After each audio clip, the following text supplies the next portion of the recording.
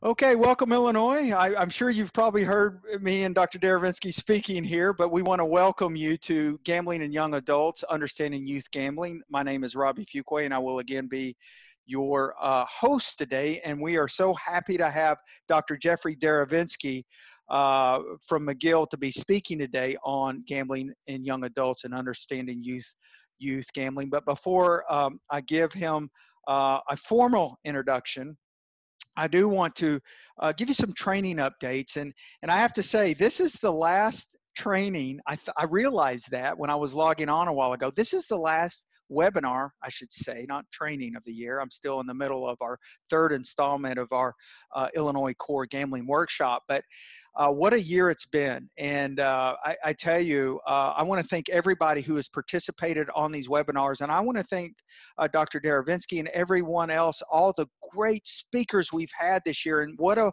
great way to finish out the year. Uh, uh, with uh, um, Dr. Derevensky speaking on youth and gambling. But so this is the last gambling of the year, but our, our I'll tell you a little bit about what's coming your way, and that's why I wanted to share with you. Uh, as far as training updates, the next webinar will be on financial recovery, where we're going to have Mark Lefkowitz. I believe we've had Mark uh, present uh, to, to you guys before. He's been doing this forever. I call him the grandfather of gambling training. He's great. I did one with him yesterday, but he's going to do a talk on financial recovery. It's going to be a two, we're, we're experimenting here. So we're going to do a two hour uh, a webinar that day. And so you'll get be able to get two CEUs with that. I, I believe I got that uh, uh, approved through IODAPCA, but uh, yeah, it's going to be a two-hour training on January 5th okay? And then February 9th, we're bringing in Don Feeney, uh, a researcher. Uh, he's going to be talking about my generation, generational differences in gambling and behavior attitude, attitudes. Again, that's Don Feeney. Don's been doing this a long time as well. I've, I've worked with Don on some webinars, and he's got, and I've seen this one. It's great. He mixes a little bit of entertainment with his clinical information and research uh, and current research. So that'll be one to look to as well. That's February 9th. Uh, I do want to let you guys know and update you on our uh, Illinois core gambling training that we're doing now online. I'm about to finish the third installment. I, I say that if I sound like a, a proud father, I am because we were able to to get everything converted over to an online version. And uh, I want to thank IODAPCA. I want to thank, of course, the Illinois Department of Human Services uh, for helping us out with that transformation through the summer into the fall to be able to give you the third installment. I'm finishing up Friday uh, morning on that. That's our last uh, eight uh, eight session last installment of the year. But we are going through all those trainings that we had to unfortunately cancel for the year due to COVID all the way back in March, April, when me, uh, Dr. Ledgerwood, and I, uh, Dave, were going to present. Uh, we were kind of switching off between cities, uh, presenting you all these uh, in person core gambling workshops. So I'm working through right now, just so you know, uh, everybody's been placed on a wait list. So as your name comes up, as these classes and opportunities to present the workshop online come up, I'm going through those canceled names and, and wait lists. So your names, if you're if you were on those lists, it's coming. The next class is January 20th. Okay, it starts January 20th and runs through February. And again, that's the online core gambling training. If you haven't received an email yet, that means you your name hasn't come up on the wait list. We hope to be able to present more uh, in the coming year of 2021. And we hope, as uh, Jeff and I were just speaking earlier, with the vaccine coming, I hope we get some traction. And I thought I'd never say this. I, I can't wait to get back on a plane and see you guys to do some business travel and do these trainings in person. So uh, listen, thank you for all your patience and participation throughout the year. So, with saying that, in order to get your CEU today, guys, be sure that you're on the, the, the entire webinar. Uh, this one, uh, Dr. Derevensky has told me that it's going to run a little bit over, so stay if you can. If not, we understand, but you get your CEU. You have to be on the call just up into the hour. Also, you have to answer the poll questions. That's how kind of we we we gauge participation. So answer the poll questions, be on for the full hour, and that's how you'll be receiving your CEU. So without further ado, Dr. Jeffrey Dar- Derevensky is PhD from out of McGill University. Um, He's the director of the clinical training and school and applied child psychology and a professor there at the Department of Psychiatry at McGill. He's a clinical consultant to numerous hospitals, school boards, government agencies, and corporations. Dr. Derevensky has published widely in the field of gambling, adolescence, and de developmental psychopathology and in the editorial on the editorial board of multiple journals. He's the author of more than 250 peer reviewed journal articles, 60 book chapters, and four books related to gambling disorders and behavioral addictions, as well as being on the editorial board, uh, again, of uh, multiple journals. Uh, Dr. Derevensky is the director of McGill University's Youth Gambling Research and Treatment Clinic and International Center for Youth Gambling Problems and High Risk Behaviors. Dr. Derevensky and his team have helped governments established research priorities and it has been instrumental in the development of responsible practices, the development of treatment centers, prevention programs, and social policy recommendations. He's a child psychologist, has testified before governmental bodies, not just here in the US, but also Canada, where he uh, reigns from uh, also Europe, Asia, and Australia, and is considered an expert in the field of youth gambling and behavioral addictions. I heard uh, Dr. Derevensky speak for the first time at my first national conference a couple years ago. Jeff, you were uh, speaking um, at, uh, it was in Cleveland, and from there I, I I, I got a feeling you knew what you were talking about. So I love to hear what you uh, will have to say today, and I always learn to hear from you when you're speaking on gambling and young adults. And without further ado, sir, I will pass it over to you. Thank you very much, Robbie. And thank you all for uh, participating in today's webinar. Um, as Robbie mentioned, it's I'll probably go over a little bit, uh, have another meeting after this. So, um, but all the slides will be available to you. So uh, some of them I may have to skip over, uh, and some of them I may have to do fairly quickly. Um, but what we're going to do is we're going to start with poll question number one, uh, indicating your experience working with adolescent problem gamblers. Have you ever worked with an adolescent problem gambler? Uh, would you prefer only working with adults? Good job, guys. You're strong out of the shoot here. We're at about 60%, 75%. We'll wait. We'll give you a few minutes or a few seconds, I should say, not minutes.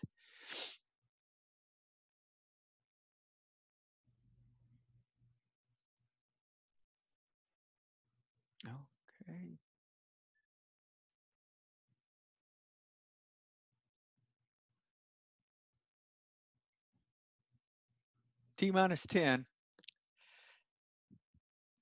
We're about 93% voted. So I'm about just to indicate your work experience with adolescents, adolescents and problem gamblers. This might be all we get. Here you go, Dr. Derevensky. Thank you. Um, you know, clearly, uh, less than half of you have ever worked with uh, an adolescent problem gambler or a young problem gambler. Uh, this is not atypical. And the good news on this poll here is that about a third of you indicate that you're very willing to work with problem gamblers, adolescent problem gamblers. Part of their problem is getting these problem gamblers into treatment and bringing them in, breaking the barriers to uh, seeking help by adolescents. So I hopefully you'll learn a little more about adolescent problem gamblers and young people who have gambling problems. Uh, our clinic works with adolescents and young adults. So uh, I will hopefully will be able to show you some information about what's happening. So I, the first thing I'd like to do is to share with you uh, some definitional confusion. Uh, the gambling industry likes to refer to themselves currently as the gaming industry. Gaming has no has few negative connotations associated with it. But what we're going to be talking about here are those people who are gambling, wagering money in order to win money.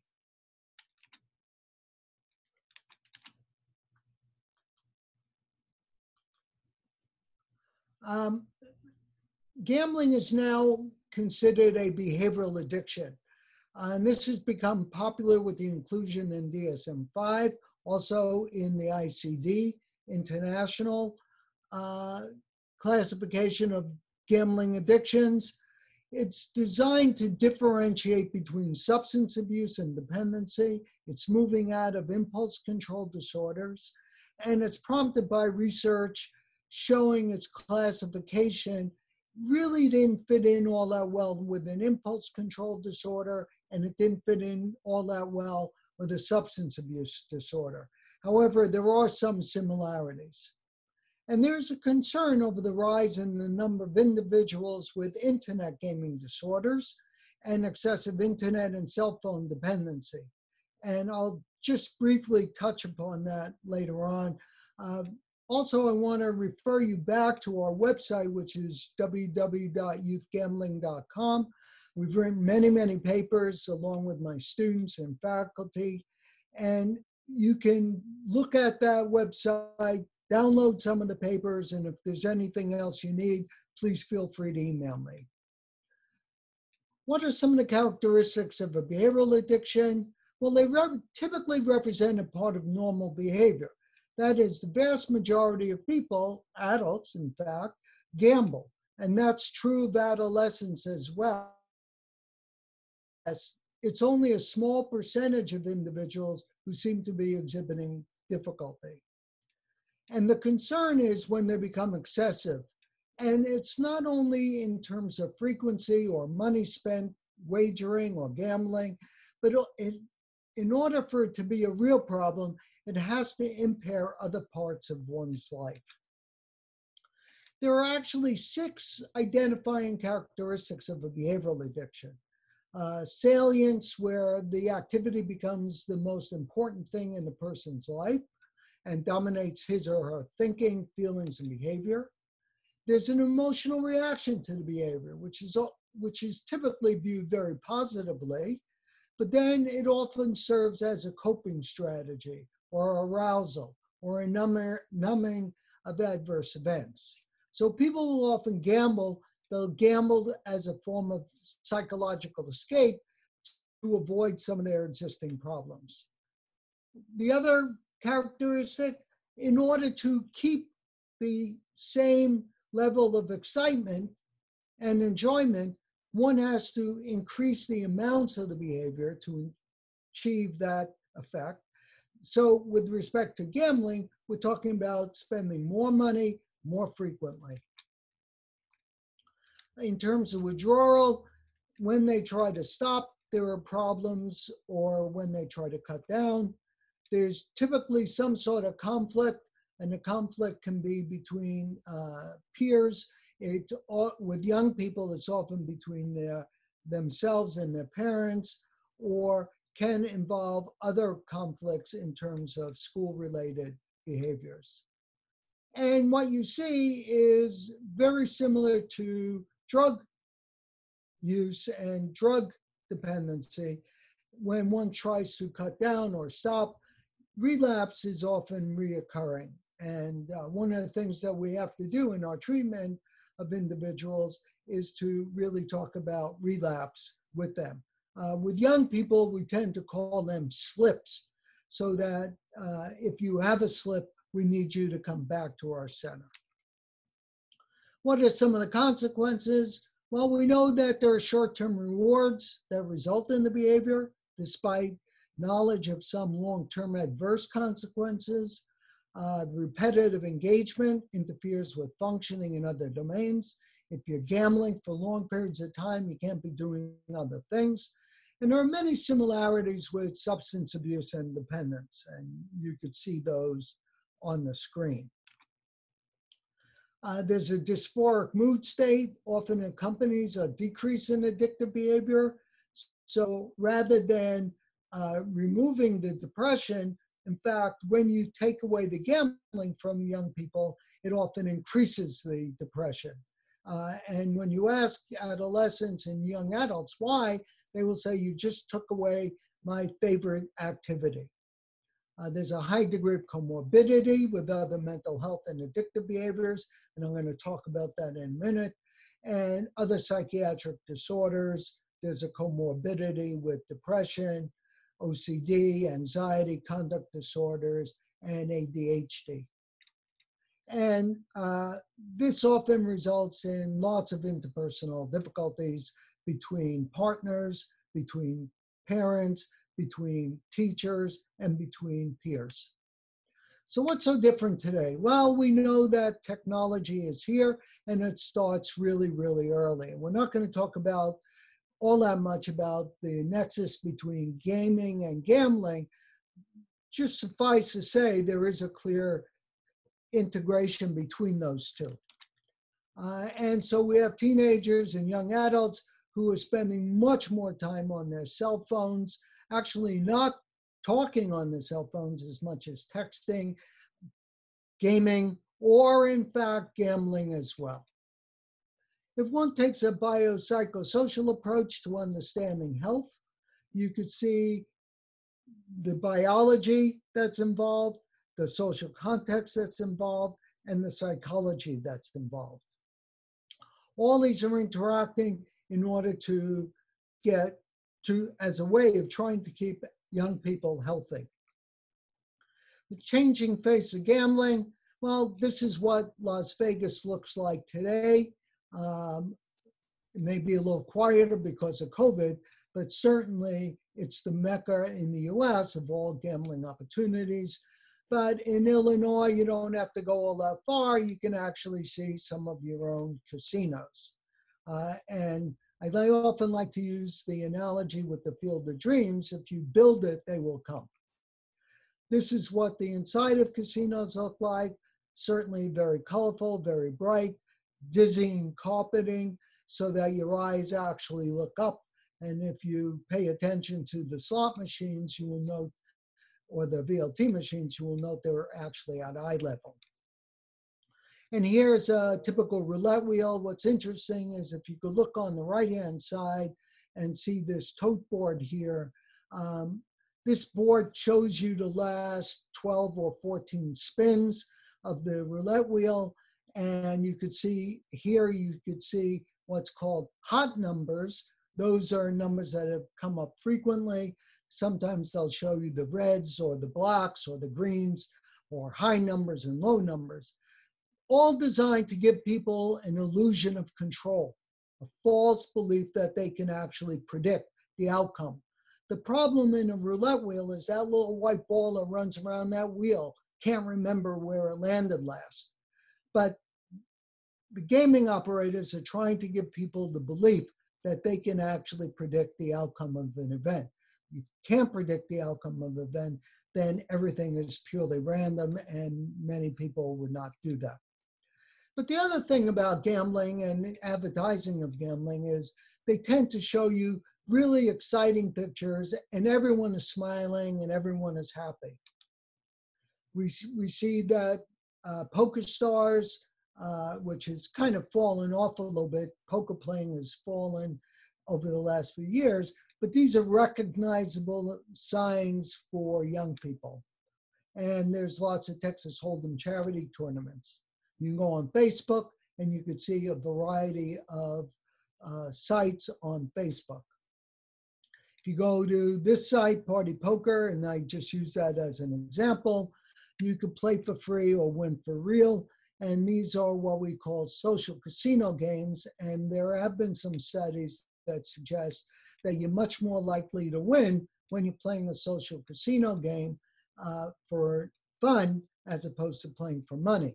But if you're winning playing for fun, the natural inclination is to say, gee, had I only been playing for money, look how much money I would have made. And we can play now on our mobile devices. In fact, mobile gambling is now the largest uh, growth area in the gambling field with many, many casinos and gaming, gambling operators actually moving their platforms online and online gambling, whether it be through sports wagering, we could talk about that in a second, or through typical casino type games. And you could gamble in your bed at night, so you don't have to worry about doing that at any time. The other thing I want to suggest is that gambling has become normalized in our society. This comes from a toy store where you could buy a blackjack success set And the per- person in the picture is Chris Moneymaker, who was the first winner of the World Series of Poker. Uh, on the left-hand side, you see chocolate poker chips for kids uh, versus regular poker chips. Uh, and uh, one of the things that you note is that it's become so normalized you can find these in food stores. You want to get girls more involved or females more involved, what you do is you make pink poker chips. But you can have a variety of games that can be held uh, and you can walk around with. Here's one for Texas Hold'em, another for blackjack, another one for poker. You can actually buy music to play poker by, and you can hear Kenny Rogers sing The Gambler or Elvis Presley sing Viva Las Vegas. You could buy professional dealer kits. And for Valentine's Day, which is coming up, uh, here you see it in both English and French because we live in Quebec and it's a bilingual country or bilingual province. Uh, and you could see Valentine, you're the real deal. And inside you could buy chocolate shaped as either poker chips or as playing cards. If you go on eBay, which I did on November 24th recently, uh, and you type the word gambling in, you will get 2.4 million listings. If you look at poker, you get almost 55,000 listings.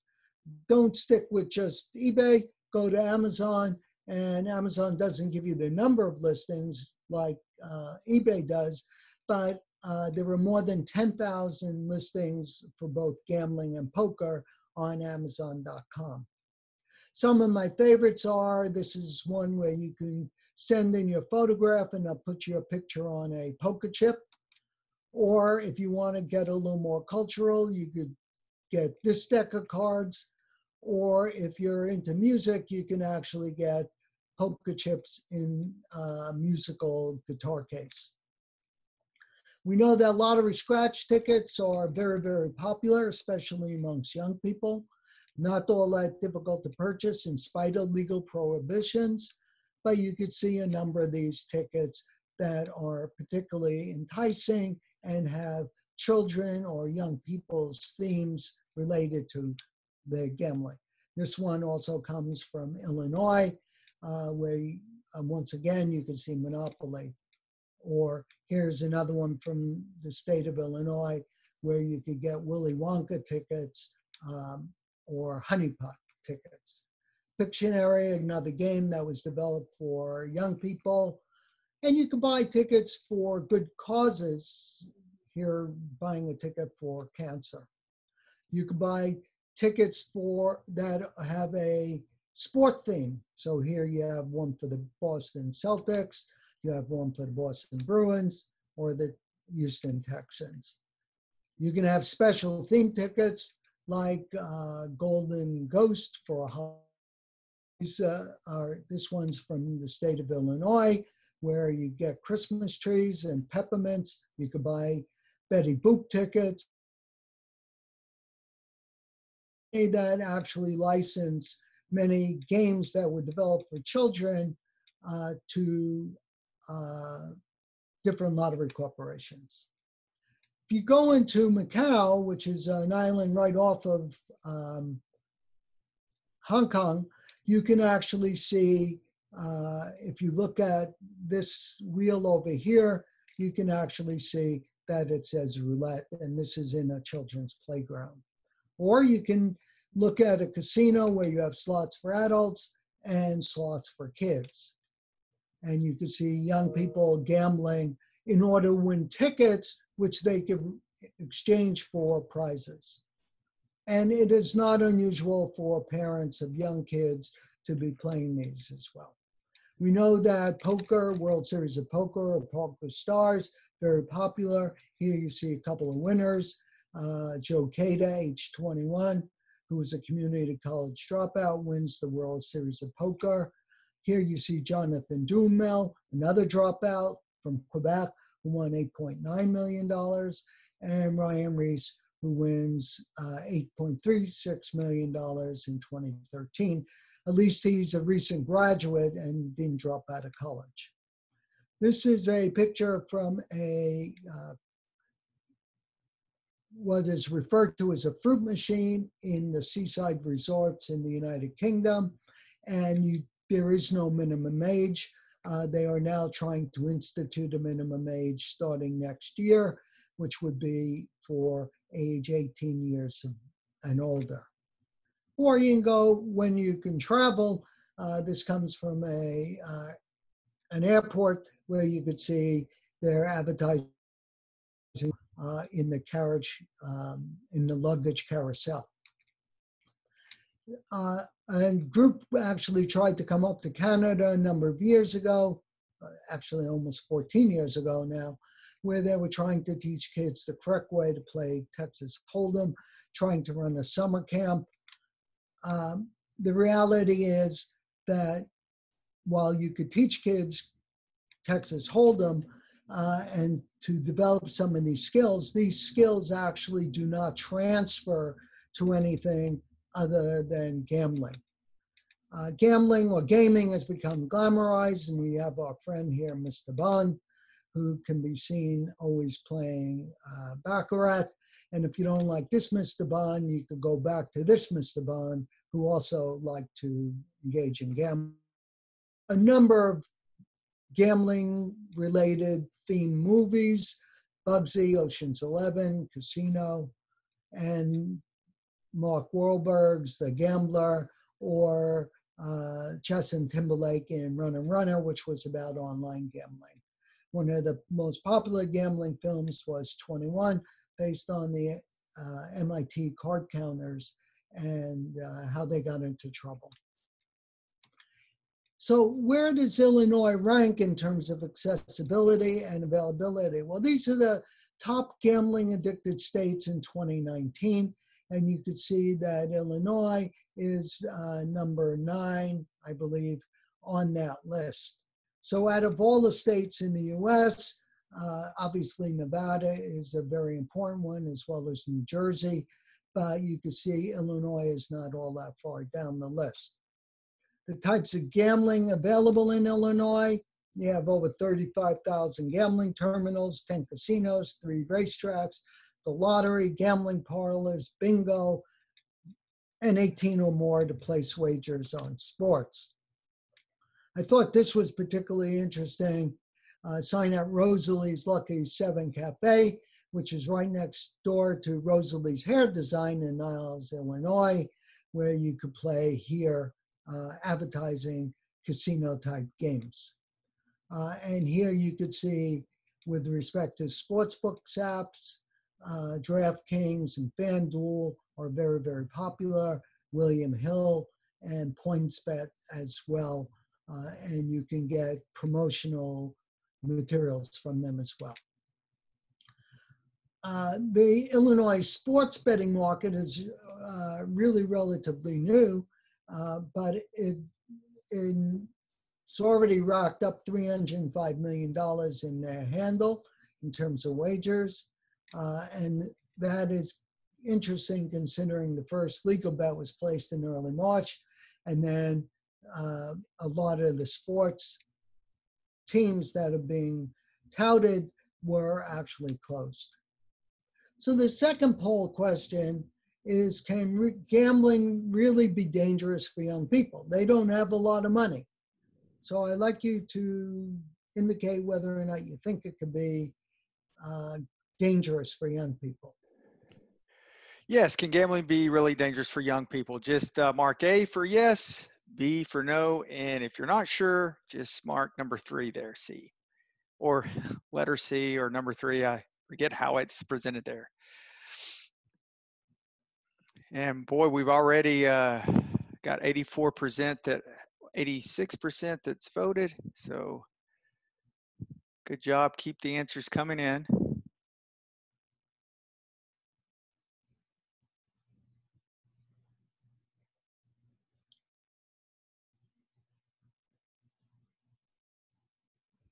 And T minus 10 seconds. Can gambling be really dangerous for young people?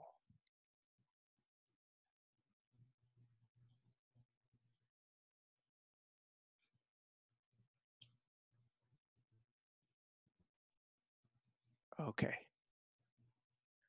So um, I certainly concur with everyone that gambling can in fact be dangerous for young people. yes. In spite of the fact that ma- most people, most adults do not view gambling as a problem for young people because they'll say they don't have enough money to gamble. Uh, but the, re- the reality is they in fact do gamble and they can actually have some problems.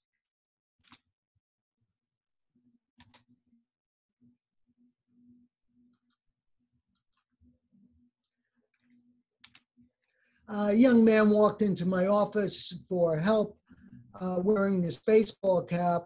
And I asked him if it would be okay to take a picture. And he said, sure. But he said, Jeff, if you lose $10,000, they'll send you a baseball cap for free. Uh, seems like a pretty expensive baseball cap. Here, I took a picture of a uh, one of our uh, clients allowed us to take a picture of their credit card statement and what you could see here going down the line. Pokerstars.com the reason why is because this was a Canadian card and so the US dollars were translated. Needless to say this individual had lost $20,000 uh, he had taken his mother's credit cards and lost $10,000 on each credit card in a one month period of time. There are some developmental issues that are important to understand. Uh, for example, risk taking, experimentation. This is the nature of adolescence. This is the first generation of youth exposed to accessible and varied gambling venues, and these Gambling venues are increasing, especially in terms of online. Uh, gambling has become the new rite of passage. Historically, teenagers, when it came of legal age, when they became 21, would go to a bar. Today, they're very likely to want to go to a casino. And the other thing that's important is to note that the minimum legal age to place a bet around the world varies. And that varies not only for, for just general gambling, but also specific forms of gambling. So in some jurisdictions, like in the US, it's typically uh, relegated to age 21 and has nothing to do with gambling as much as it has to do with the fact that alcohol is often served in casinos and so that's why they are able to gamble on uh, or the age is restricted to 21 typically we find uh, scratch tickets being uh, having a lower age. Uh, and uh, in the UK, you can actually buy a lottery ticket legally when you're 16 years of age. We know that adolescence is a period of brain maturation, but this brain maturation is really not complete until about age 24. Uh, so uh, turning to poll question number three. Adolescents engage in many potentially risky behaviors, including smoking, alcohol use, drug use, and gambling. Which behavior is most prevalent among adolescents? Is it going to be alcohol, drug use, cigarette smoking, or gambling?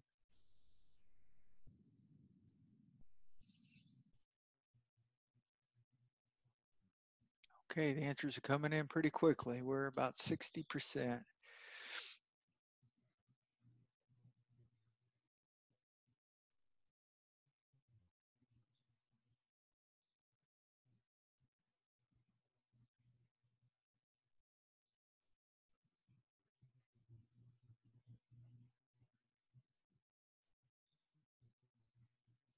Okay, T minus 15 seconds. Give everybody a chance. A few stragglers out there. We're at 89%.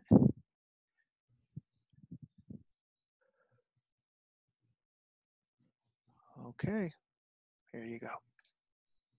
So the vast majority of you think that alcohol use is the most um, frequently engaged in potentially risky behavior, along with cigarette smoking, uh, and then gambling comes in next, with drug use uh, actually being less uh, than all three. So I'd like to kind of turn to some involvement in, in risky behaviors. This comes from some of our research, but there's been lots of other research done all over the US and internationally.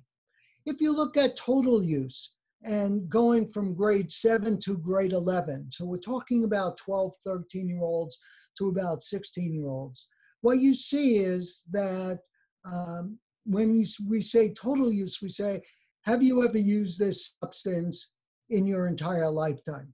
So one would expect to have an increase going from grade through grade 11 uh, in each of these addictive behavior, potentially addictive behaviors. The important thing to note here is that there are more young people. That is relatively flat, but it's flat high. And so what we know is that in order to work with young people as a prevention tool, we really have to intervene early. If one looks at the right-hand side of this table, you could see weekly use. And once again, uh, gambling is the most highly endorsed behavior. Uh, and so we know that there are a lot of people gambling.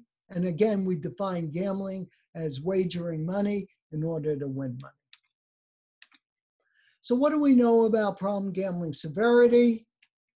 Well, the first is that most people are what we call social recreational gamblers. They gamble occasionally.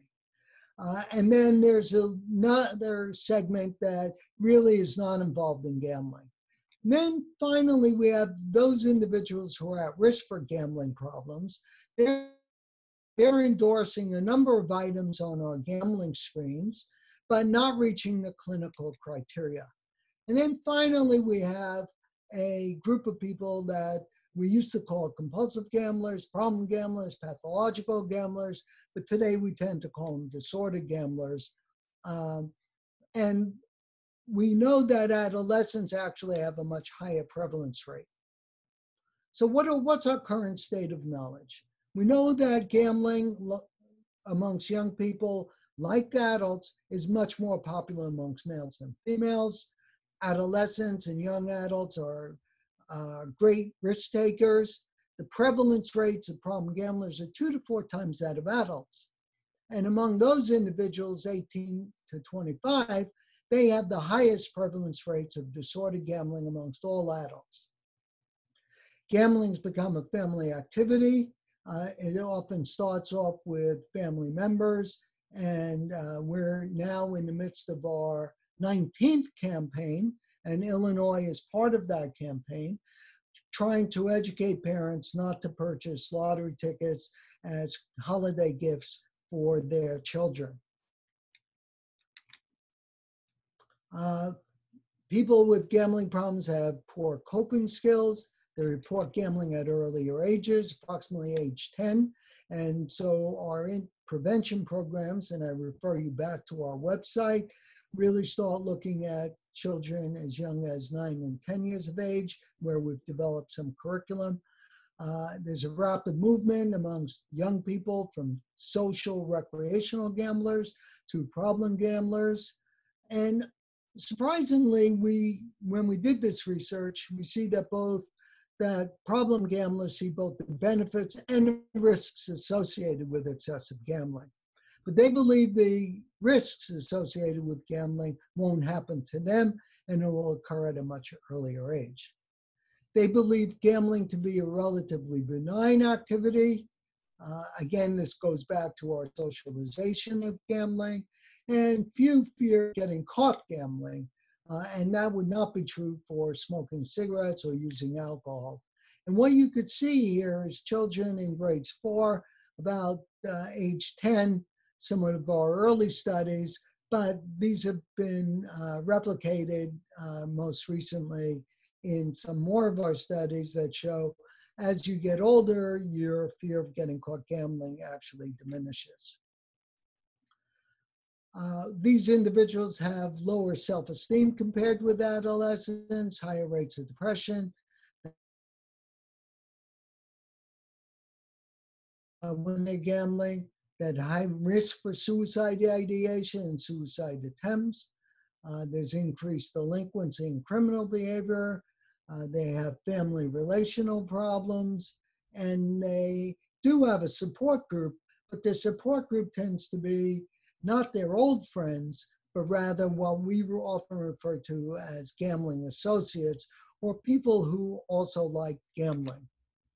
Uh, they score higher on measures of excitability, extroversion, impulsivity, and lower on measures of conformity and self-discipline. They score lower on measures of resiliency. They experience more major life events and early childhood traumas. Uh, they're more likely to have parents with a gambling problem, other mental health or substance abuse issue. They display significant cognitive distortions and remain at risk for the development of an addiction or multiple addictions. And here, once again, you could see that as you go up in gambling severity from uh, yellow, which is no problem gambler, to gambler, alcohol use increases, drug use increases, and smoking also increases.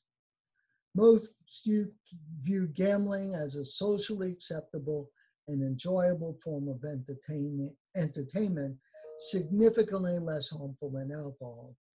And uh, it should not be surprising that adolescents are easily influenced by advertisements and pop-up ads on one's computer or smartphone or viewing gambling advertisements on in sporting arenas are very, very popular. Problem gamblers also have more gambling related legal problems and PPG stands for probable pathological gambling. But you could see as you go from non-gambler all the way to some gambling problem, they have more legal actions pending against them. How do we assess problems? Well, firstly, we look for things like lying, chasing losses, borrowing money, uh, always betting more, being obsessed with gambling, being unable to stop gambling, gambling uh, at a psychological need. There are a number of instruments that have been used or developed or modified from adult instruments. One is the DSM-4-MRJ, uh, which was based on the DSM-4 criteria, uh, the SOGS-RA, uh, or the CAGI, which is the Canadian Adolescent Gambling Inventory, uh, which was one developed specifically for adolescents. And uh, in a number of studies, we've used the NORC diagnostic screen for gambling problems when we were only able to ask a limited number of questions. Prevalence rates for youth gambling range anywhere from 2 to 5% internationally. And as I mentioned earlier, the highest prevalence rates are among 18 to 25 year olds amongst adults. Uh, typical adult prevalence gambling rates tend to, problem gambling rates tend to range between 1 and 2%. Uh, just to show you from some of our uh, data, um, this is from the DSM-4J uh, gambling screen, and not all items are endorsed equally. Uh, but one of the things you could see is the percentages of endorsements from those individuals who have a gambling problem. The most often, uh, we find themselves thinking about gambling at odd times of the day or planning the next time they play. Uh, lying to friends or family members how much you gamble is also very, very highly endorsed. Uh, and here we see some of the other items on the DSM-4J, uh, with the one becoming restless, tense, fed up, or bad-tempered when trying to cut down or stop gambling. So if you endorse, and you'll have these slides, uh, although these are able to be acquired from the internet now, but if individual endorses four or more uh, meeting the criteria for, uh, they will be assumed to have met the criteria for probable pathological gambling. And this was based on a study we did in 2012. Uh, we have a poster outside our waiting room where we treat young people with gambling problems, and we uh, list all these items with the notion if you endorse four or more, you may have a gambling problem. And I've had teenagers walk in and say, you know, that sign outside your door, uh, I endorse all those items. I don't think I have a gambling problem. My mother thinks I have a gambling problem. My girlfriend thinks I have a gambling problem. My friends think I have a gambling problem. Why do I gamble? These are excerpts from information taken from gamblers. This is a male, age 14. Gambling was there for me when no one else was. It made me know I was special and even powerful. The days flew by. I was in a different world. Nothing else was important to me. Of course, I stole money from my family. It's nothing personal. I needed the money. Or if you really think of it, it was easy to come up with reasons why I should keep playing. If I was winning, well, that was reason enough.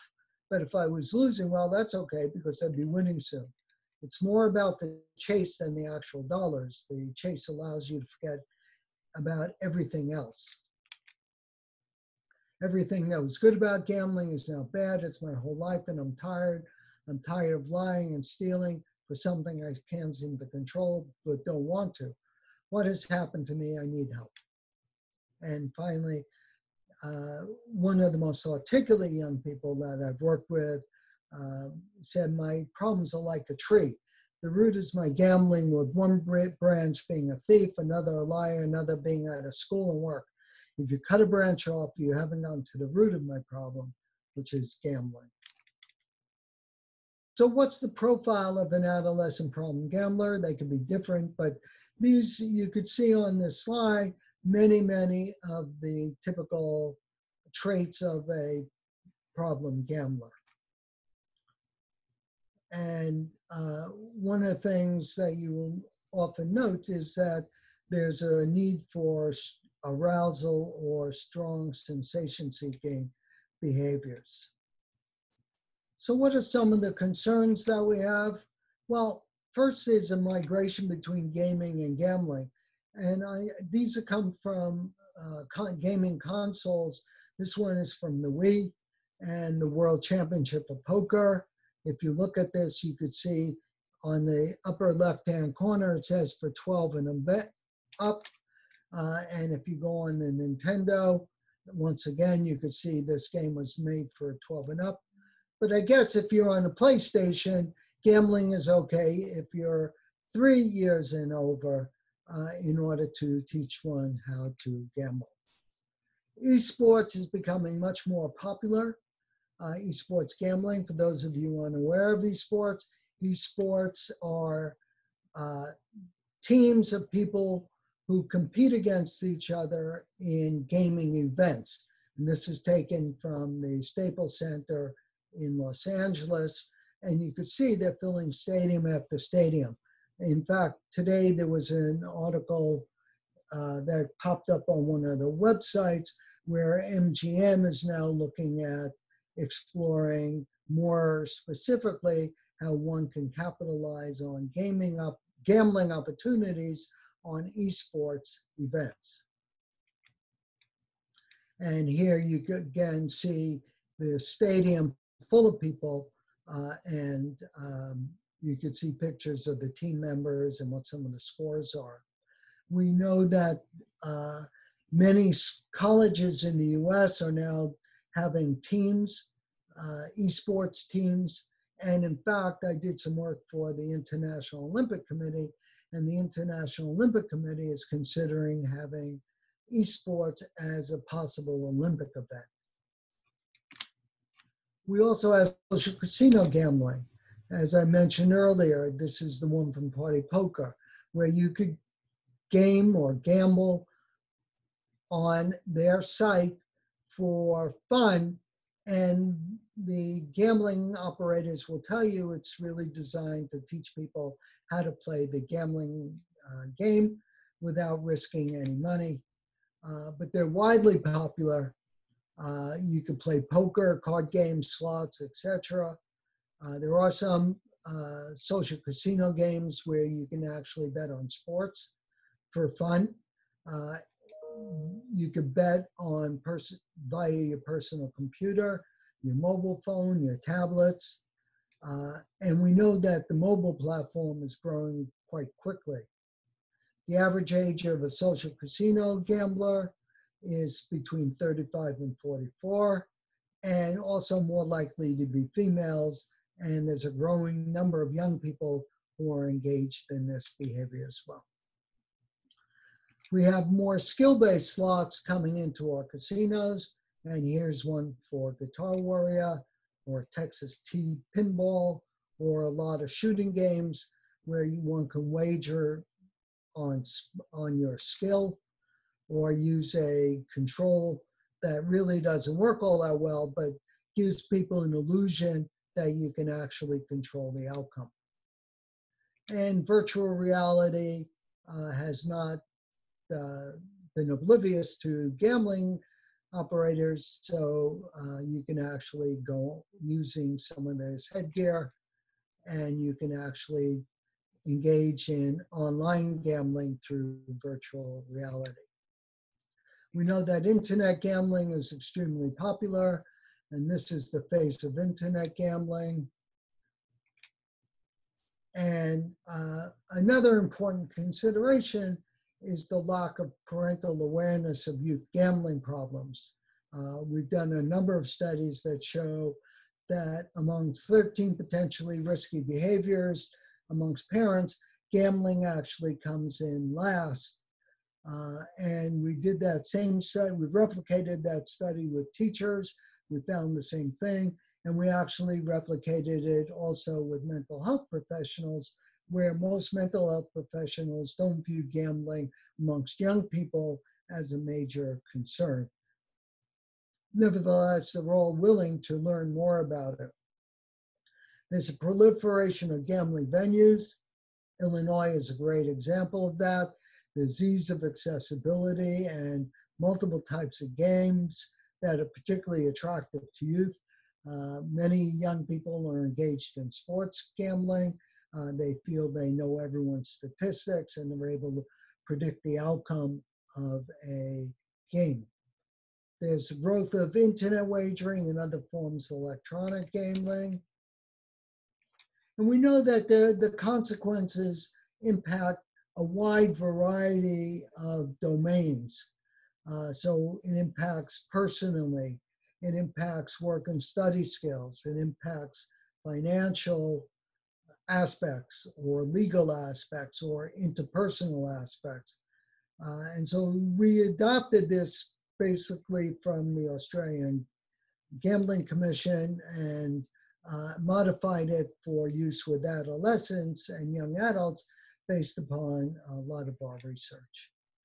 But the question may be, is youth problem gambling a primary disorder? And I wonder I often think about whether or not if we replace the inner circle, which says problem gambling, with things like depression, could we then move problem gambling out to the side? And so when we're treating adolescents or young people with gambling problems, I think it's really important for us to remember all these other different circles as well. There are a number of issues related to treating youth with gambling problems. The first is funding. Uh, who is going to fund this? Insurance companies tend not to be willing to fund treatment issues for young people, or they may have limited number of sessions. Uh, do we do this in a school? Or do we use a hospital-based program or a community outreach program or a university program? How do you attract clientele? Uh, I do an awful lot of media work, and the media work is done really to try to raise awareness amongst adults, young people, that help is available and one can actually be successful. And do we go for abstinence or harm reduction?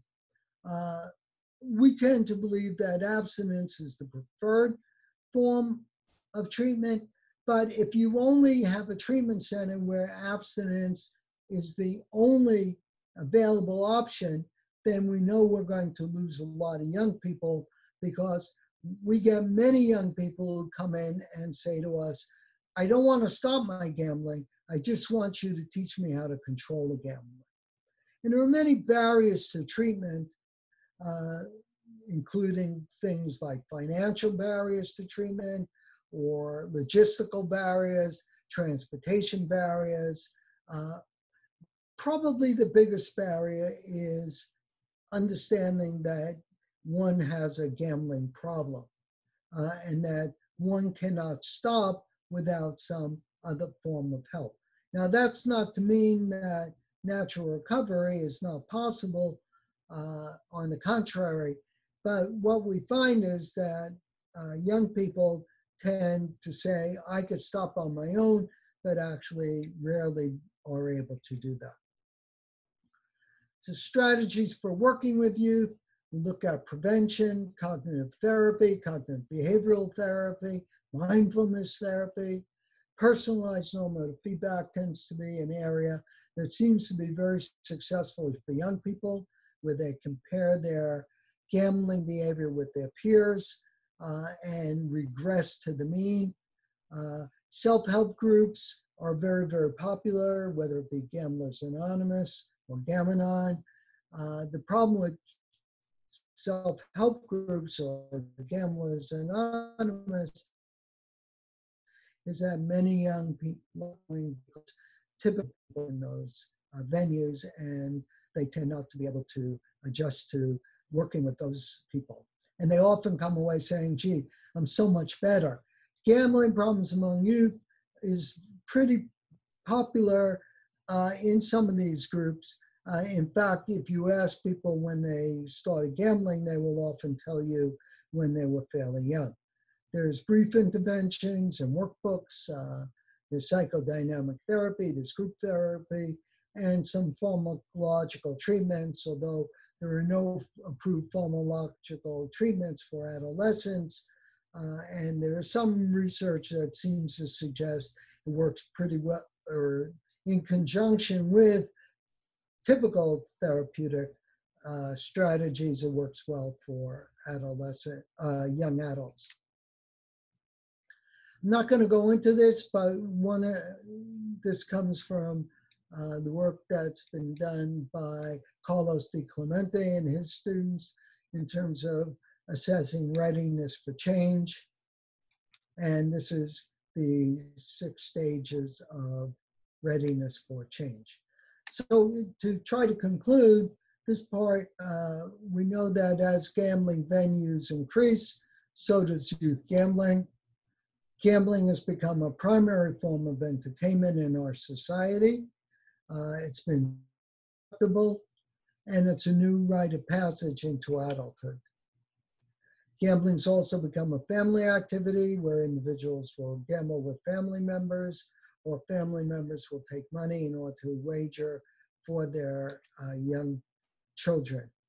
There's a significant increase in technologically based gambling, and there's a general perception that gambling is relatively harmless activity.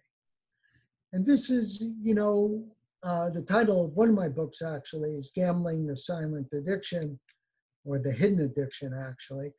Um, but here's, I'll end with this cartoon uh, and it says, it's a little difficult to read, but it says, unfortunately, the Johnsons never noticed the early warning signs that the teenage son had a gambling problem. And here's uh, little Johnny Johnson uh, bringing home a showgirl with a wad of cash in his hand. Uh, we had a mom who actually called our center and said, I don't know if my son has a gambling problem, but when I was putting away his laundry in his um, dresser, I found several hundred lottery tickets. So I want to thank you all for your kind attention, uh, and I will try to look at some of the questions that you might have. I could stay online for a few more minutes. Thank you, Jeff. Great presentation. I'm giggling at that that last cartoon, man. That was that that was wonderful. And, and isn't that the truth too working with gamblers adolescent or adults you you just see the you see the consequences and it's hard to sometimes connect the dots because a lot of us i know myself and a lot of us on the call have substance addiction backgrounds and you know you, you see a lot of the things but sometimes with this addiction it's uh, or disorder you don't see that connection but it comes out just like that cartoon it showed. So Thank you so much, so much, Jeff. And you've got a few questions on the chat. I can read them off, or you can take a look. That uh, I told everybody I'd get answered, along with some compliments too. And I want to, I want to, uh, everybody who can stay on, please do. If you've got a couple of minutes, Jeff, to answer questions, and then uh, also please go to we know the feeling.org. We know the feeling.org to get registered for January 5th webinar with Mark Lefkowitz going over financial recovery. Okay, Thank you. Thank you, everyone. And, and Jeff, uh, you do have a few questions here on the chat. Would you like me to go through them or are you sure, taking a look I, at them now? I'm, I'm having trouble seeing the chat oh, questions. So. No worries. I, have got it. Um, so we had a, the first few questions. Um, let's see here was uh, Joy had asked, well, first question was with the lottery tickets. And I would imagine they do get royalties, but do the themes from those lotteries, she wanted to ask, do, do there are, do they do the states have to pay out to those royalties for like uh, you know uh, like Il- Illinois with uh, Gene Wilder on that ticket uh, for a Willy Wonka? I would yeah, imagine absolutely. they do. Yeah, yeah. Uh, they, and, it, these yeah, are all licensed products that they buy from a licensing company. Mm. Um, the, many of the lotteries will tell us that they're really not targeting young people, but trying to target adults with an period during a period of their youth. So they become nostalgic. But yes, they have to purchase these licensing agreements. And getting back to something else, Robbie, you had said earlier sure. Uh, about that last cartoon, I had a young man who bought it, who was winning. Um, and he bought himself a Rolex watch, and his mother said, Where'd you get that? the fake Rolex watch uh, because if he told her that he bought a real Rolex watch, she would become suspicious. He hmm. eventually had to sell that Rolex watch uh, and then lost the money gambling. Uh, yeah. Okay. Yeah. Run the tape through. Right. There's more to the story. Yeah. Well, thank you for that uh, example. Yeah, that cartoon's great. Uh, she, uh, Joy also asked, uh, in Iowa, only a minuscule percentage of those who would qualify for help seek it. Seek it. Might that skew numbers for the af- the affected person's data and other states too. Yeah, that's true. Uh, you know, the, the general rule of thumb is that 10% of people with a gambling problem will actually ever seek any help. Um, so if you're looking at 1% of the population, you're looking at 0.1% of the population that ever seeks help. With adolescents, it's even smaller percentage of people primarily because they present in different ways uh, than an adult. Uh, quite often, an adult will present because their partner or spouse will say, You really have to uh, go for help or I'm leaving. And teenagers will tell us, I don't have a partner or spouse. I don't even have a girlfriend or boyfriend. I don't lose my house. I still live with my parents. I haven't lost a job. I'm still in school. So the number of adolescents or young people who are seeking help is really quite small. We're trying to train people in universities and colleges, in their uh, students' uh, fair centers, in order how to work with young people with gambling problems. And if you go online uh, or pick up any of my books, there's always some uh, chap book chapters that I've written on working and treating young people with gambling problems. Wow. Yeah, they rely on mom and dad's padding to hide. yeah. Well, thank you for bringing that up. Good, very good point. Um, also, Je- hey Brian. Brian asks, um, ha- have has have you seen any positive actions uh, to lessen the harm in those youth who are that you've addressed during you know this talk, uh, who are suffering from you know problem gambling behaviors or gambling disorder itself? Yeah, I think uh, in, you know I I used to show pictures of Darth Vader and say that that's what the gambling industry used to look uh, think I looked like, the evil empire. Uh, and then I started showing pictures of Yoda, the little crinkly person, and that's where I fit in more. I think we, over the last 20 years, we've seen a dramatic shift in gambling operators who are really concerned about harm minimization and responsible gambling. Now, are they doing it because uh, government is making them do it, or do they do it because they truly believe that's the approach? Uh, I'm not 100% sure, depending upon the jurisdiction. But I will say that there is a growing adherence amongst gaming or gambling operators to actually try to minimize the harms. Nobody wants a young person to uh, get harmed, or even, in fact, an older person as well. And I've often argued that for the gambling industry, if you can keep people safe, you're actually going to increase your profits because people will gamble for longer periods of time. Yeah, th- thank you for that. That well, you know, Jeff, that leads to the next question here about uh, you know speaking of prevention efforts. Um, uh, is it is it more effective to reach the youth or the actual youth client directly, or educate the parents first? What I mean, what what have you so, seen? Yeah. Most, I mean, there's been some work done in Illinois as well, but the vast majority of prevention programs tend to be school-based prevention programs, uh, primarily because they're a captive audience.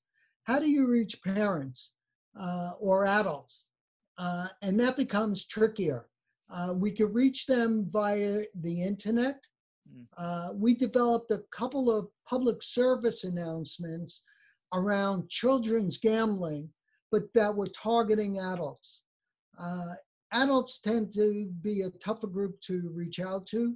Uh, I would say if you can uh, do public service announcements or do interviews over the telephone, now's a good time because it's holiday time and uh, we just completed a slew of interviews uh, along with the National Council on Problem Gambling, Keith Whyte, uh, on our holiday campaign urging parents not to buy lottery tickets for children. Uh, it seems like a fairly innocuous thing, but we know that one of the risk factors for later gambling problems is an early big win. And so if a young person, a nine-year-old or a 10-year-old wins $50 or $100, that's a huge amount of money. If you or I won that, we would be very happy, but it wouldn't change our life. Mm. Yeah, good point. Well, Jeff, I think that's all the questions that I've seen. So, hey, thank you again very much. And thank you, Illinois. Thank you, the Illinois Department of Human Services. Kelly, I know you're on the line. I appreciate and I enjoy working with you. And I, I look forward to 2021. And, and I hope to have you back, Jeff, as, as a speaker again in the future. Uh, so uh, thanks for all you do. Thanks for this great presentation. Thanks very much, Robbie. Thank you all for your attendance and participation and your interesting questions. Thanks, okay. everybody. Thank you. And have a happy holiday. Yes, happy holiday, everyone. Thank you.